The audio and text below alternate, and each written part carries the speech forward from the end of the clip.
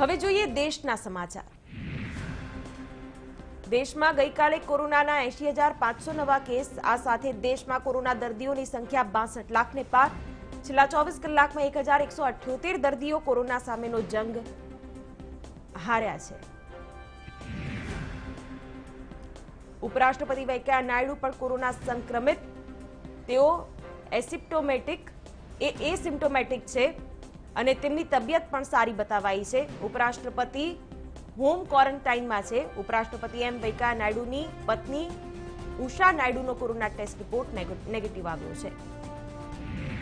Serum institute હવે ભારત માટે બમણી માત્રામાં કોરોના રસી બનાવશે. કંપનીએ કહ્યું કે હવે સો મિલિયનને બદલે બસો મિલિયન રસીના ડોઝ તૈયાર કરાશે. પૂર્વ લદ્દાખમાં ભારત ચીન વચ્ચે તણાવની સ્થિતિ ચાલી રહી છે. ત્યારે વાયુસેના chief air chief marshal RKS ભદોરિયાનું મોટું નિવેદન. તેમણે કહ્યું કે ભારતની પૂર્વ સરહદે ચીન સાથે ચિંતાજનક સ્થિતિ, યુદ્ધ પણ નહીં અને શાંતિ પણ નહીં તેવું વાતાવરણ પ્રવર્તે છે. સેના ઉપયોગમાં લેવામાં આવતા ચીતા અને ચેતક હેલિકોપ્ટરની સેફટી ચેકનું કામ શરૂ કરવામાં આવ્યું છે. એંશીના દાયકાથી કાર્યરત ચીતા હેલિકોપ્ટરના રિપ્લેસમેન્ટની માંગ સેનાએ સરકાર પાસે કરી છે. બાબરી વિધ્વંસ કેસમાં સ્પેશિયલ સીબીઆઈ કોર્ટ ચુકાદો સંભળાવશે. ભાજપના દિગ્ગજ નેતાઓ લાલકૃષ્ણ અડવાણી, મુરલી મનોહર જોશી, ઉમા ભારતી સહિત બત્રીસ આરોપીનું ભાવિ આજે ઘડાશે.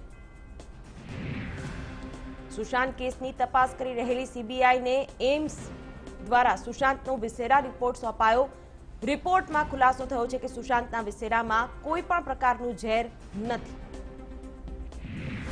રિયા ચક્રવર્તીની જામીન અરજી પર બોમ્બે હાઈકોર્ટે ચુકાદો સુરક્ષિત રાખ્યો છે. સાત કલાક સુધી સુનાવણી ચાલી હતી. આ પહેલા રિયા અને તેના ભાઈએ બોમ્બે હાઈકોર્ટમાં દાખલ કરી કરેલી જામીન અરજીનો એનસીબીએ વિરોધ કર્યો છે. પીએમ મોદીએ કૃષિ કાયદાનો વિરોધ કરી રહેલા વિપક્ષ પર પ્રહારો કર્યા. કહ્યું કે જે ઉપકરણોની ખેડૂતો પૂજા કરે છે તેમને આગ લગાવીને વિપક્ષ ખેડૂતોને અપમાનિત કરે છે.